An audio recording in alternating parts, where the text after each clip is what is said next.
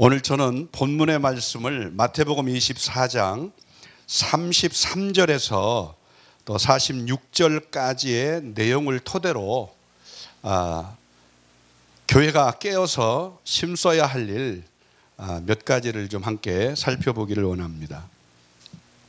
우리가 흔히 말해서 아, 이제 주의 다시 오실 날이 임박했다는 여러 가지 이야기들을 많이 합니다. 그런데 그것을 성경은 뭐라고 얘기하냐면 반드시 주님이 다시 오실 날이 임박함을 알리는 징조, 사인이 있다고 말씀하죠. 마태복음 24장에서는 예수 그리스도께서 이 땅에 이제 반드시 주의 재림을 알리는 사인에 대하여 말씀하고 있는데 세 가지를 말합니다. 아, 첫째는 사람의 미혹이 일어난다. 거짓 그리스도, 거짓 선지자의 많은 미혹을 통하여 택한 자라도 할 수만 있으면 이제 실족하게 만드는 그러한 일들이 일어난다고 말씀하면서 미혹에 빠지지 않도록 주의하라고 말씀했죠. 어, 대한민국 내에 통계가 나와 있는 걸 제가 보면서 충격을 좀 받았습니다. 자칭 재림주라고 하는 사람이 40명이라고 통계가 나와 있습니다. 또 어, 이단 사이비 집단이 통계가 200개가 된다는 거예요. 그리고 그 이단 사이비에 빠진 사람들의 수를 지금 200만으로 추산하고 있습니다. 한국 기독교 교인술의 수가 한때는 이제 1200만을 넘는다. 그런 통계가 있었을 때도 있었습니다. 그런데 문제는 이단 사이비가 이제 한국 교회를 향하여서 공략을 함으로 인해서 많은 사람의 수, 곧 200만이라는 사람이 결국 이제 이단에 빠지게 됐다는 거죠. 그 중에 좀 암울한 것은 젊은이들, 청년들, 다음 세대를 짊어지고 해야 될 청년들이 20만 명이나 된다고 통계가 나와 있습니다. 이것은 어, 정확한 통계가 된다고 봐도 될 만큼 이단 사이비를 집중적으로 이제 연구하고 또 이단 사이비에 빠진 사람들을 돕는 그 상담 기관에서 낸 통계이기 때문에 그렇습니다. 한국은 해외에서 들어온 이단들이 이제 한국 교회를 많이 혼란케 했습니다. 그들이 가지고 온 특징 중에 하나가 뭐냐면 성경에 삼일체 하나님의 구속사 가운데에서 이제 가장 마지막 예수 그리스도의 그러한 재림을 통한 구속의 완성에 대한 부분을 갖고 많이 아, 미혹을 하게 됐습니다. 그 중에 하나가 여러 가지의 계산법을 통해서 이 땅에 그리스도가 다시 오시는 날이 언제쯤이다라고 하는 시한부적인 것을 많이 나타내므로 혼란에 빠지게 만들었던 상황입니다. 우리가 잘 아는 것처럼 해산을 해야 할 여인이 배가 아파서 산후통으로 이제 어, 출산을 할 시간이 가까웠다는 사인이 왔을 때 사람들은 그것을 가지고 준비를 하고 또 아이를 낳을 해산을 할 준비를 하죠. 그런데 이게 거짓 진통이 됐을 때 이게 아이가 금방 나오지 않으면 어떻게 되겠어요? 사람들이 이것들이 반복되다 보면은 거기에 대하여 불신이 생기기 시작해요. 그런가 하면은 이제 우리나라는 일제 36년의 압제 속에서 정말 독립에 대한 자유와 해방에 대한 부분을 갈망하던 시간들이 있었습니다. 많은 기독교인들이 독립운동에 함께 참여해서 대한민국의 이 독립을 위해서 많이 애썼던 걸 보게 되죠. 이들에게 있어서 그 힘든 시간 버틸 수 있었던 것은 기독교의 신앙이요. 주님이 다시 오심에 대한 소망 가운데에서 많은 고통 속에 있는 그 기독교인들을 위로하고 격려하며 이제 힘든 시간을 지난 걸 보게 됩니다. 그리고 1945년 이제 8월 15일에 해방의 기쁨도 잠시 우리가 잘 아는 것처럼 이제 북한이 쳐들어옴으로 인하여서 6.25 동란이 일어나게 되죠. 이 전쟁 통해 많은 그 평양을 중심으로 대부흥을 통하여 일어났던 기독교인들이 이제 공산당에 의하여 어, 많이 핍박을 받게 되므로 남한 쪽으로 많이 피신을 하게 됐죠. 자, 이런 가운데에서 이런 일제 압박 더 나가서 6.25 전쟁의 그 참상 속에서 참으로 내일에 대한 소망이 참으로 사라지고 절망 가운데 있는 이 피난민이 된 그들의 삶 속에 예수 그리스도에 대한 이 다시 오심에 대한 소망 그리고 그 소망을 가진 그 믿음만이 이 어렵고 힘든 세상을 이겨나갈 수 있는 하나의 위로가 되기도 했습니다. 이러함으로 인해서 이제 그 당시에 많은 사람들이 예수 그리스도의 다시 오심에 대한 그러한 소망을 가지고 이 예완계시록의 종말론적인 부분에 대한 것들을 이제 왜곡되게 해석해서 두려움 속에 있던 사람들을 많이 현혹하고 미혹시키는 이단 이단들이 한국 안에서 자생적으로 생기기 시작합니다. 여러분 무조건 해외에서 오는 것만이 좋은 건 아닙니다. 외국에서 들어왔던 신학이라고 하는 것들이 우리의 순수한 그러한 성경 중심, 예수 그리스도 중심의 신앙에 대하여 왜곡되게 만들고 잘못된 성경을 볼 수 있는 눈을 열어서 그 자리에 예수 그리스도 대신 바로 이단 사이비의 교주가 보이게끔 만들어서 그를 메시아로 추종하고 또 다시 오실 메시아 재림 예수로 이제 신봉하며 이단 사이비 집단에 빠지도록 만드는 그러한 일들이 일어나게 됐다는 거죠. 너무나 잘하는 이야기지만 이것은요 지속적으로 예수 그리스도의 재림의 날이 임박하면 할수록 이제 곡식이 익어가면 익어갈수록 추수 때가 가까우면 가라지가 무성하게 되고 그 가라지를 이제 마지막 추수 때에는 뽑지 않습니다. 이유가 뭐겠어요? 금방 추수를 하면 곡식은 창고에 들이지만 결국 가라지는 다 모아서 불에 태우기 때문에 그렇습니다. 하나님의 분명한 약속된 심판이 있기 때문에 우리는 이단 사이비들의 이러한 미혹이 한국 교회를 향하여 많은 아픔을 주고 있지만 여러분 그것 때문에 우리가 우리가 해야 할 일들을 참으로 어? 뒤로 하고 그것들에 의하여 두려움을 느끼고 그것들에 의하여 우리의 신앙생활에 어려움을 가질 게 아니고 오히려 이 쌓인 징조들을 통하여 당연히 있어야 할 일이 일어나고 마지막 때는 이것이 더 가라지처럼 무성하게 일어나기 때문에 이것들을 통하여 주의 재림이 임박했음을 더욱더 우리가 깨닫고 오늘 본문의 말씀처럼 아, 한마디로 말해서 깨어라는 거죠. 깨어서 준비하고 있어라는 거죠. 충성되고 지혜로운 종이 되어서 오히려 깨어 있는 것만이 아니라 충성되고 지혜로운 종이 되어서 때를 따라 양식을 나눠줄 수 있는 그러한 자가 되기 위하여 말씀 무장, 영적 무장이 필요한 줄로 믿습니다. 두 번째로 이제 징조가 뭐냐면 바로 이 사회적 재앙인데요. 전쟁, 기근, 재난, 그 전염병으로 한 죽음의 공포와 두려움이라고 말씀했어요. 그런데 이런 사회적 재앙이 우리에게 어떻게 체감되느냐? 경제적 침체로 온다고 말씀드렸어요. 이것은요, 믿지 않는 자에게만 해당되는 게 아니고, 믿는 자, 하나님의 복음을 위하여 선교하는 일에 힘썼던 한국교회도 이러한 사회적 재앙으로 인한 경제적 침체를 피해갈 수가 없었습니다.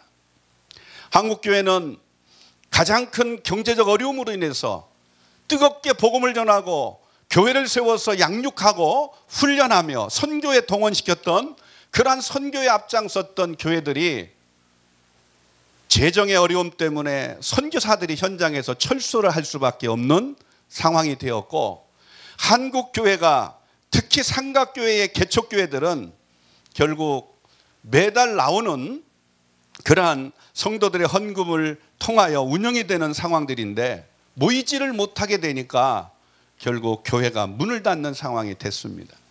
너무나 안타까운 건 복음의 열정과 이 복음을 전하는 사명을 위해서 열심히 개척을 하고 지하실이든 뭐 지상이든 관계없이 그 장소적 관점에 그 어, 영향을 받지 않고 하나님께 예배할 수 있는 공간만 있다면 그곳에서 감사하며 뜨겁게 기도하고 복음을 위해서 열정적으로 헌신하던 사람들이 이러한 제약된 상황 속에서 결국 예배당의 문을 닫게 되는 이러한 안타까운 모습들을 옆에서 지켜보면서 복음의 동역자로서 많은 아픔들을 느끼며 공감을 하게 됐는데요. 한국교회는 이 지나간 3년 동안에 이러한 어려움 가운데에서 우리의 믿음이 얼마나 더 깊이 예수 그리스도께 뿌리를 박은 그러한 뿌리 깊은 영성으로 철저하게 예수 그리스도의 영성이 충만한 신앙이 필요한가를 우리가 깨닫게 된 줄로 믿습니다. 아무리 견고하게 세워져서 참으로 승리하는 삶이 되기를 원해도 우리에게 주어진 환경은 그 일들을 지속할 수 없도록 어려움을 너무나 많이 갖게 된 거죠. 물질을 지배하는 믿음이 없이는 아니 아무리 내가 하나님께 예배할 수 있는 좋은 환경이 지속될 수 없다 할지라도 혼자서라도 또 산속에서라도 다양한 모습 가운데서 하나님께 예배하는 일을 쉬지 않겠다고 하는 우리의 뜻을 정한 믿음이 요구되고 할렐루야. 또 다가 나가서 우리가 더 건수와 같은 말씀 무장을 통해서는 심한 가뭄이 오면은 말라 버리듯이 깊은 지하수에 뿌리를 박은 우리의 신앙이 돼야만 결국 끝까지 견디고 충성하는 믿음이 된다는 것을 처절하게 경험했던 시간이었던 줄로 믿습니다. 지나간 3년의 시간들 한국교회의 모든 목회자들, 성도들의 신앙을 하나님께서 저울대 앞에 달아보는 시간이 되었던 줄로 믿습니다.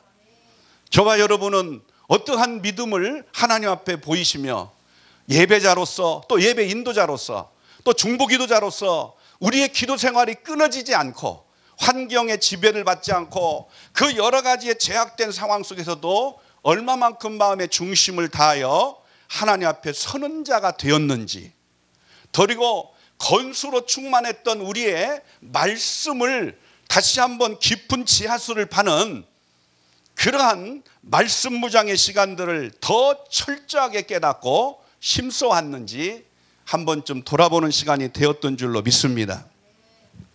오늘 본문의 말씀은 33절에 이렇게 말합니다.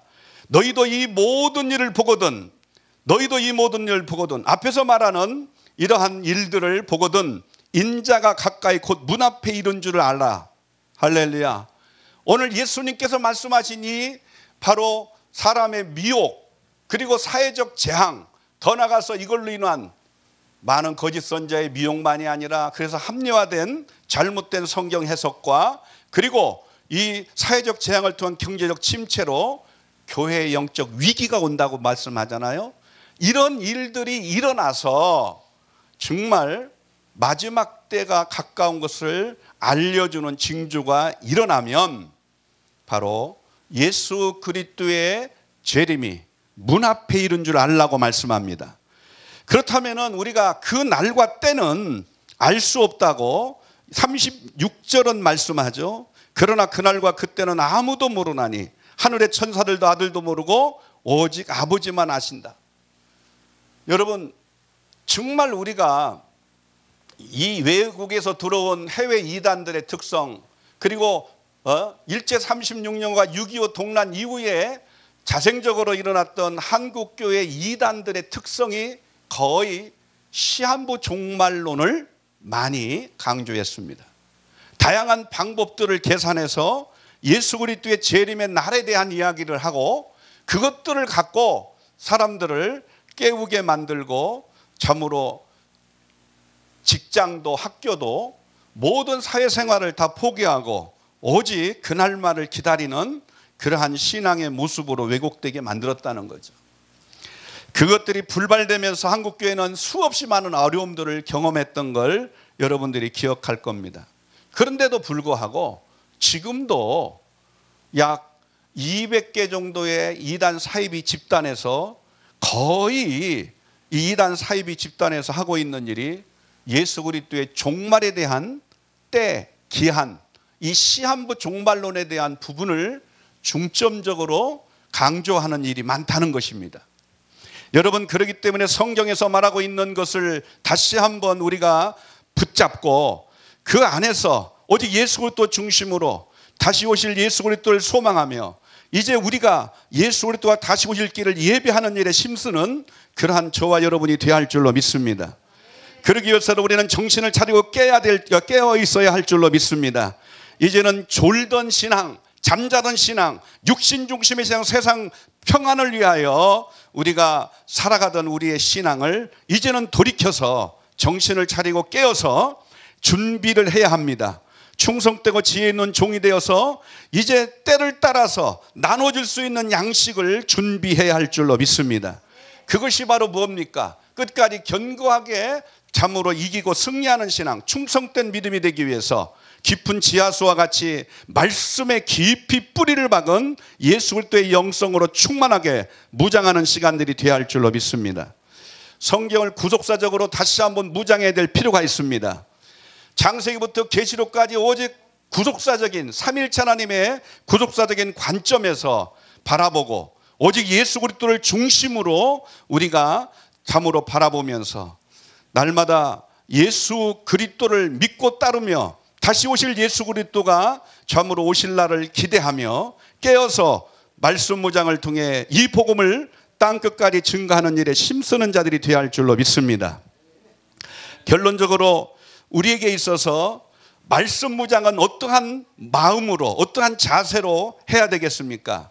여러분 물이 끓는 온도가 100도입니다. 그런데 여러분 물이 99도까지 끓어도 이 99도가 돼도 절대로 물은 끓지 않습니다. 이 100도가 되는 지점을 인계점이라고 얘기합니다. 100도라고 하는 그 시간이 딱 돼서 인계점이 딱 이르러야 물은 끓게 되고 그 끓는 물을 통하여 음식도 삶게 되고 다양한 모습으로 이제 우리에게 필요한 것들을 공급할 수 있어요. 한국교회는 이번에 이러한 참으로 건수와 같은 말씀만으로 말씀 풍년이 되어서 여기저기 그 말씀으로도 역력히 우리의 신앙생활이 승리할 줄 알았는데 이제야말로 이 3년의 기간 동안에 우리의 신앙에 그러한 척도를 하나님께서 적나라하게 점으로 저울 때 앞에서 달아보는 시간들이 됐기 때문에 이제는 우리가 99도가 아닌 100도로 우리의 부족한 것들을 이제 말씀에 깊이 뿌리를 받고 구속사적인 관점에 예수 그리스도를 중심으로 이 복음에 초점을 맞추어서 말씀 무장의 시간들이 돼야 할 줄로 믿습니다. 100도가 돼야 됩니다. 저는 어, 마지막으로 한 가지 더 소개하고 마치려고 합니다. 말콤 글레도웰이라고 하는 사람이 1만 시간의 투자의 법칙을 얘기했습니다. 한 사람이 어떠한 분야를 시작해서 또 그것에 대하여 체계적으로 배우고 훈련하고 그 전문적인 분야에 이제 인정을 받는 전문성을 가진 자가 되기 위해서 최소한 1만 시간을 그 분야에 투자해야 된다고 얘기합니다. 그래서 하루에 3시간씩 따진다고 하면은 이것이 10년이라는 시간을 투자해서 그 분야의 전문적인 지식을 체계적으로 배워야 되고 그 배운 지식을 활용하는 훈련을 해야 되고 그래서 마지막으로 이것들을 전문성 있게 다른 사람들에게 확신을 가지고 전할 수 있도록 그래서 정말 그 사람들이 체계적으로 바르게 정립시킬 수 있도록 만드는 전문성을 가지는 그러한 전문가가 되기 위해서 1만 시간의 필요를 얘기합니다. 여러분, 깊은 지하수는 하루아침에 파지는 게 아닙니다. 이제야말로 한국교회는 새롭게 변화를 이루는 변곡점이 돼야 되는데 내려가는 신앙이 다시 이제 올라가는 그 시점을 변곡점이라고 얘기해요.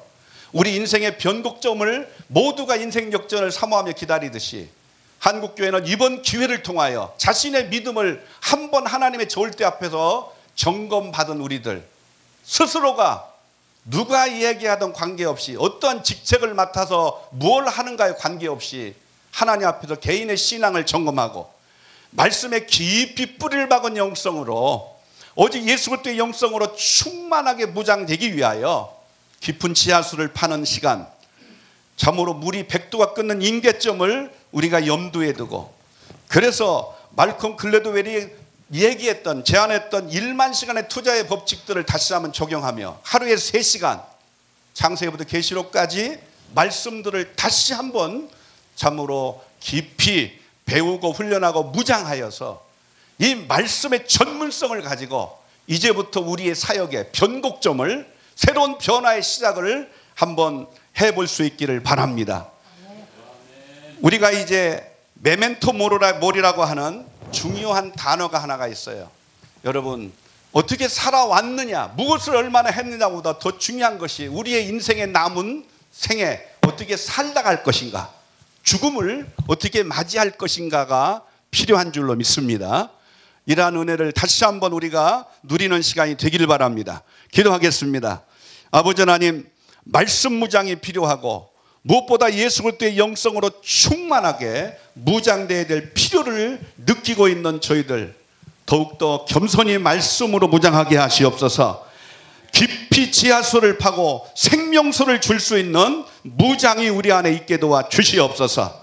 무엇보다 이 시대에 잘 준비된 자로 전문성을 가지고 잘 가르치고 전할 수 있고 또 잘 세워갈 수 있는 은혜가 있게 도와 주시옵소서. 우리 주 예수 그리스도의 이름으로 기도하옵나이다. 아멘. 아멘.